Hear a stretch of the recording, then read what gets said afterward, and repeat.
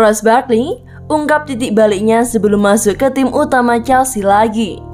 Ross Barkley mengungkapkan bahwa pertanian selama sesi latihan menjadi titik balik utama dalam karirnya di Chelsea. Ross Barkley menghabiskan musim lalu sebagai pemain pinjaman di Aston Villa setelah gagal masuk ke dalam tim utama di Stamford Bridge di bawah mantan pelatih Frank Lampard. Gelandang yang berusia 27 tahun itu kembali ke klub induknya pada musim panas dengan harapan untuk membuktikan dirinya kepada manajer baru Thomas Tuchel. Meski harus bersaing dengan nama-nama favorit seperti Mason Mount, Havertz, dan juga Ruben Loftus-Cheek. Setelah sempat kekurangan waktu bermain di awal musim, Ross Barkley kini sudah tampil dalam 3 dari 5 pertandingan terakhir Chelsea di semua kompetisi, termasuk menjadi starter saat Chelsea bermain imbang satu-satu di kandang sendiri melawan Burnley pada awal bulan ini. Dan mantan penggawa Everton itu percaya bahwa sesi latihan pada September lalu benar-benar membuat Thomas Tuchel mulai melirik dan mulai mempercayainya. Tepat sebelum jeda internasional pertama, saya berlatih dengan sangat baik dan kemudian kami memiliki pertandingan internal.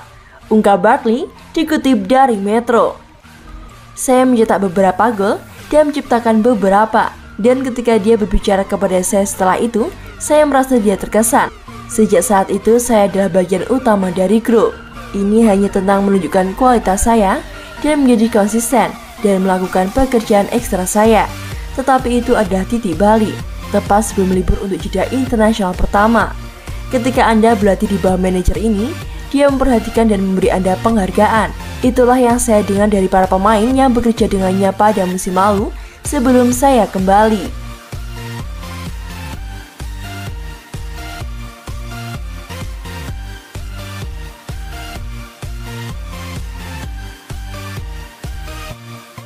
Frank Lampard sebut dua pemain terbaik yang pernah setim dengannya. Frank Lampard tampak kesulitan untuk memilih satu rekan tim terbaik yang pernah bermain dengannya sehingga akhirnya dia memilih dua legenda Chelsea John Terry dan Didi Drogba. Mantan bos Derby County itu menikmati masa-masa penuh trofi ketika masih berseragam debus sebagai pemain di mana ia menjadi penyetak gol terbanyak klub dengan 211 golnya dari lini tengah. Selama karirnya di Stamford Bridge, dia telah memenangkan tiga gelar Premier League, 4 piala FA, Liga Champion, dan Liga Euro sebelum pergi untuk bergabung dengan Manchester City pada 2014 lalu. Adapun di Man City, dia bermain bersama pemain-pemain macam Yaya Toure, Sergio Aguero, dan Fernandinho. Akan tetapi Frank Lampard menegaskan bahwa pahlawan Chelsea John Terry dan Didi Drogba adalah rekan terbaik yang pernah satu tim dengannya. Ditanya oleh Gary Neville dalam sebuah wawancara di channel YouTube The Overlap tentang siapa pemain terbaik yang pernah bermain dengannya. Dan Frank Lampard mengatakan, saya selalu harus membagi hal ini antara John dan Didi.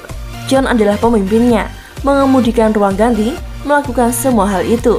Gidir adalah orang untuk momen-momen besar yang saya merasa kehilangan ketika melakukan salah satu dari mereka.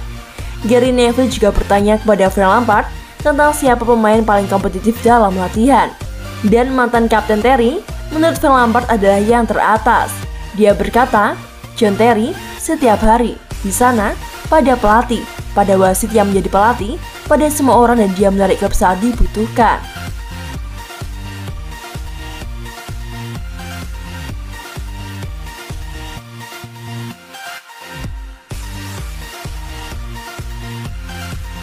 opsi pulangkan Emerson Palmieri untuk gantikan Ben Chilwell.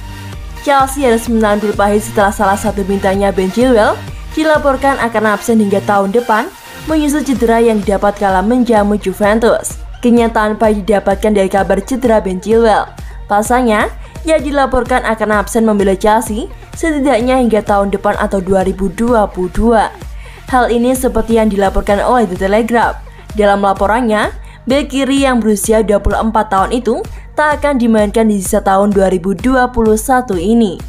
Ben Chilwell sendiri, Perabu 24 November 2021 waktu setempat, telah menjalani pemeriksaan dan dianjurkan untuk menjalani operasi dari cedera yang ia alami. Tetapi Chelsea memilih mengizinkannya untuk mengambil waktu rehat akibat cedera agar sembuh sendiri sebelum menjalani pemeriksaan lanjutan. Apakah benar cedera ACL atau bukan?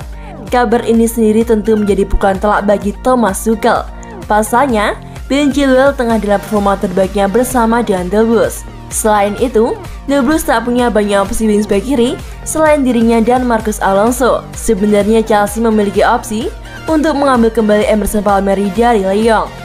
Pemain Lyon Emerson Palmieri memang kesulitan bersaing di tim utama Chelsea.